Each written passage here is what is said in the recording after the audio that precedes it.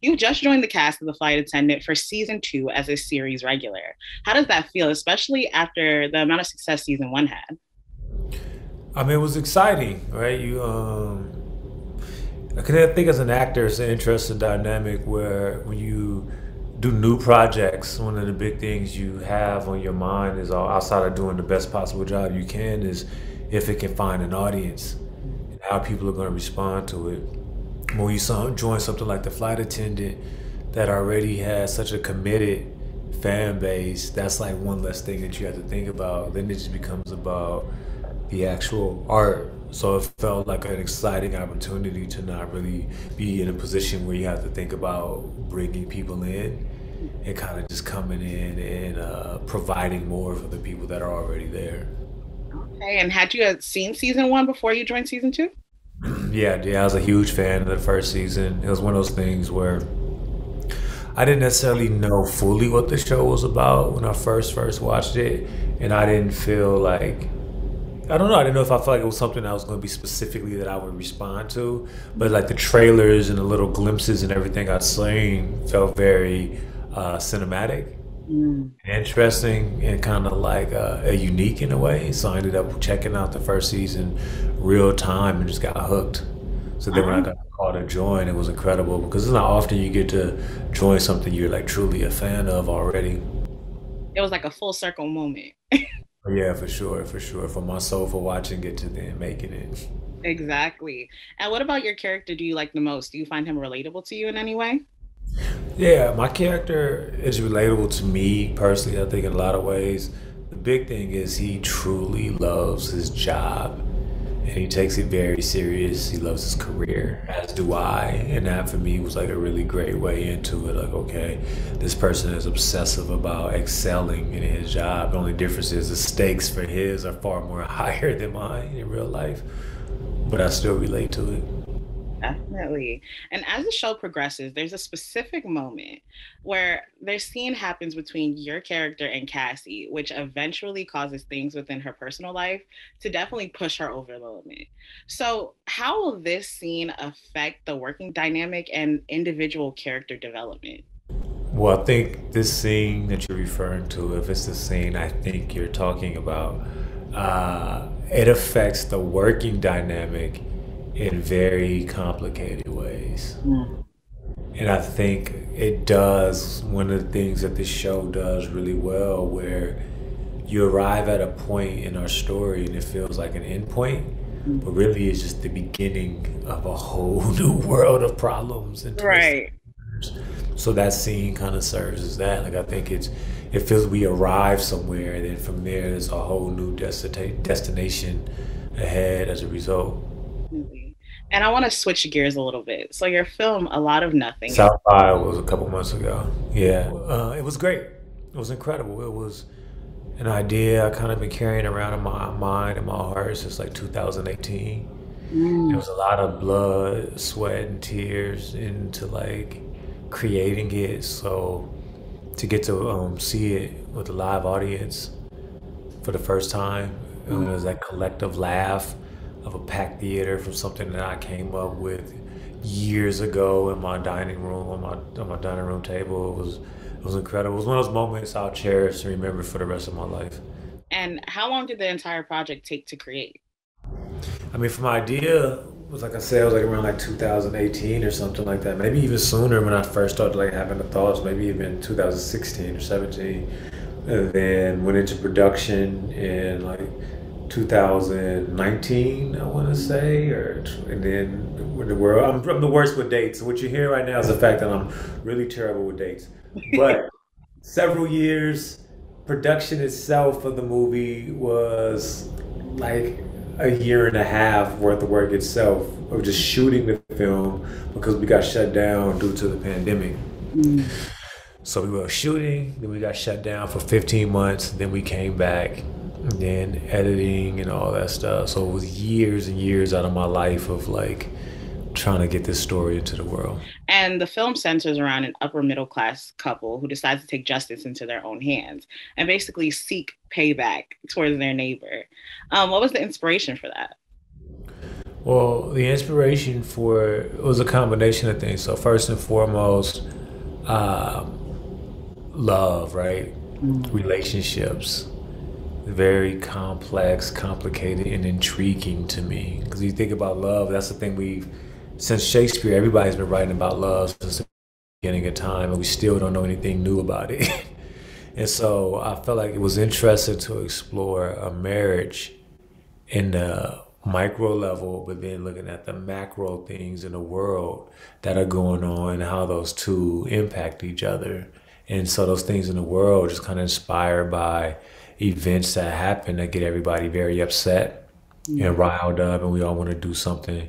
But what does that look like? Most of the time, it's us going to social media and making a soapbox post about it. Mm-hmm. So I wanted to say, what happens if you take a couple that decide to go past the soapbox social media post and actually engage? Are we even equipped to do that? And the answer was no. and you already mentioned it. Like over the past few years, we've seen that shift in how people around the world have come together and basically speak against injustices and demand change. So, how important was it for you to implement that aspect into the film?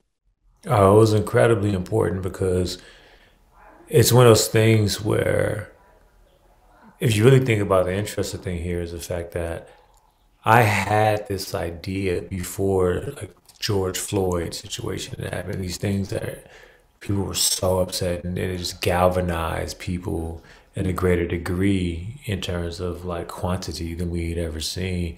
So I feel like this has been bubbling and it's something that's very much in our social consciousness mm. about like what do we do so the opportunity for me to potentially and hopefully entertain while posing even more questions about what do we do and then often why don't we do because we're also caught up in our own microcosms and what's happening there that it becomes increasingly more difficult. I remember Jerrod Carmichael had this joke.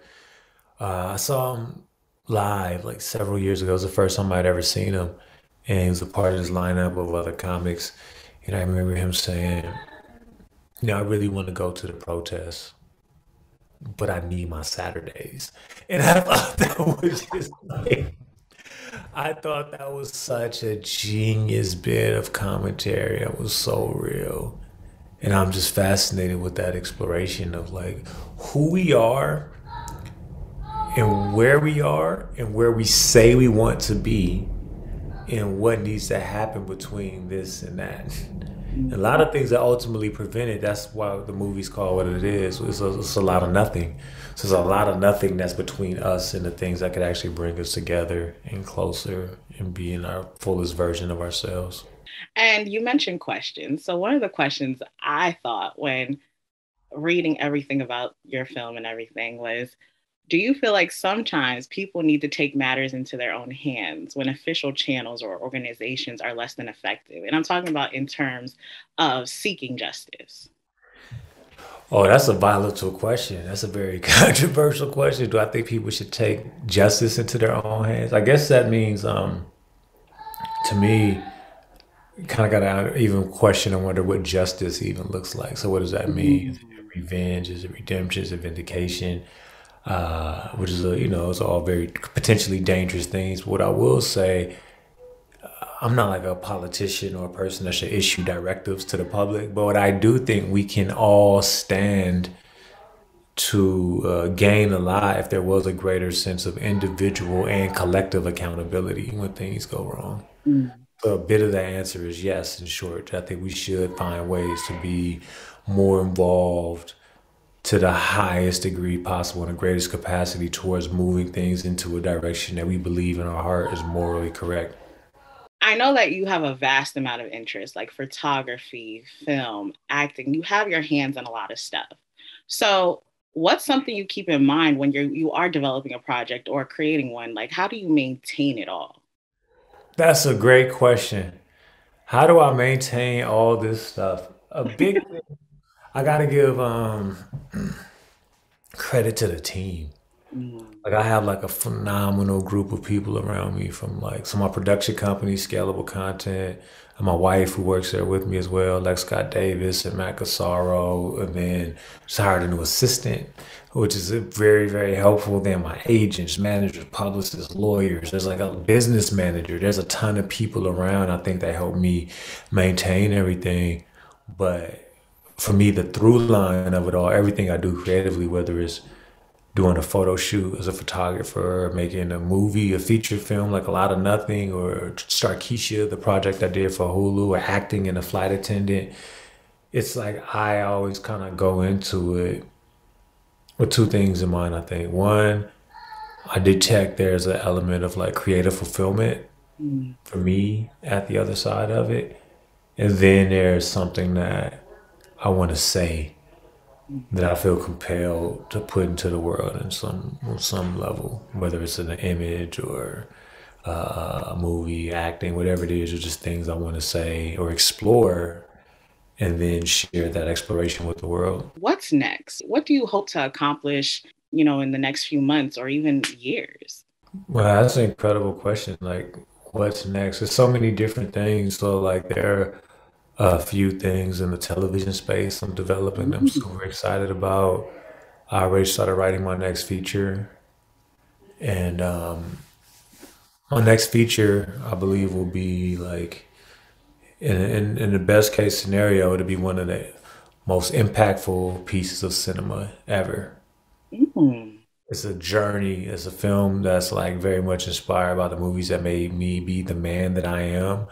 I wanted to try my hand at creating something that gave me an opportunity to tackle some of the themes that they're universally relatable that hopefully everybody can first of all always be entertained but then could take these these jewels and these jams that are in this film and like apply it to their life at various stages whenever applicable. And developing and hopefully making a photography book soon do my first exhibition. It's it's a lot happening. Okay, okay. I definitely I see the drive. You're gonna do it and you're gonna do it great. Thank you. Thank you. So I know you say you're in the process of creating this new this new project. So what is your creative process like? Oh man, my creative process it varies. It's really weird and unique, and it's constantly changing. Uh, I'm going to answer this question like with one thousand percent candor and honesty.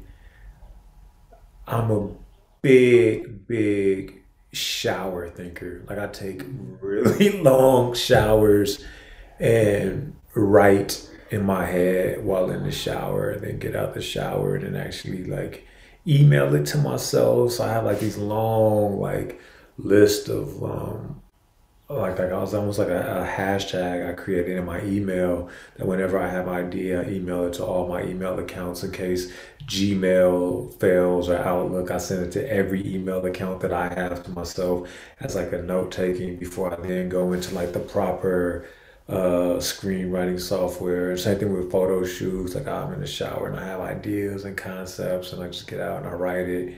I wake up all crazy hours. I don't sleep well Mm-hmm. So I wake up and like lean over and write stuff into my phone that's on the side of the bed. So it's just like this constant, unconventional process of like ideating. And then the structuring of it happens at the desk, either at my studio or at my home office, where I just sit and actually structure out the ideas and get it to something that I could share. Because before I could get it together, it's like a bunch of wild ideas all the time loose. Like, so with the new film I'm writing, I know the ending scene, I see it in my head, I know where it begins and some of the middle when I'm filling in everything else. I know the themes and they're like moments. There's all these different moments that I'm still connecting and making cohesive. I I feel like I'm the same way. When I'm in the shower, like I'll be like, hey Siri, and then tell her like the notes that I, I just start spitting out words. And I'm like, I know she doesn't even know what I'm talking about. Oh. Oh, you you might have just hit me with some game. I put you onto an oh. idea. hey Siri in the shower, and I could just say it out loud. Oh, that's amazing. Exactly. I mean, sometimes she doesn't get the words that I'm trying to get at, but it's okay. I know what I was trying to say. So do you forget to say tell Siri when you're done, or do you start singing in the showers and then you got lyrics in there too? Imagine? No, like once I'm like, all right, and that's it. And then she'll stop. And then afterwards, I put all my notes together. But the thing is, if you have multiple ideas, she's going to make 17 different notes for you. She won't add to the one. Really? That is, I didn't know that was a thing. I'm kind of like, it's weird because age range wise, I'm like, I'm a millennial. So I grew up with the internet to some degrees, but I'm not like super, super tech savvy. So it's a lot of stuff like Siri. I never use Siri. Like I, I would just type everything. And I have friends that use voice notes all the time. And I'm like, why are you voice noting me? Just text, just write the words like everybody else. Oh, that's I never I never used an emoji my whole life. Huh, really? Never used an emoji my entire life. My favorite emoji is the laughing emoji with the tears. I use that 10 times a day. But how often are you actually laughing that hard in real life? You know, that's an amazing question. Like there's something powerful in the in the consistent exercise of like using truthful words. I don't know, like I just I, I've never used an emoji my whole life, never. Now it's at a point where I'll write out the emoji that I would use if I did use emojis when I'm talking to people. I'll be like, insert laughing face. Right, exactly. Dancing, red dress, dancing person. Thank you so much, Mo, for sitting down and speaking with me today. It was a pleasure, and I loved you in season two. Uh, that was an emphatic love. I appreciate that so much. You see, I meant that from the heart. No emoji could express that. Nah, I appreciate it. It's been exciting too, seeing how everybody feel about the show. Like so far, only the press has seen it, so I'm getting a lot of feedback from press. But I'm really excited to see like how the world feels about it. I think my character's like an interesting addition to that world. Definitely. I think you were a perfect addition to that world. Thank you so much.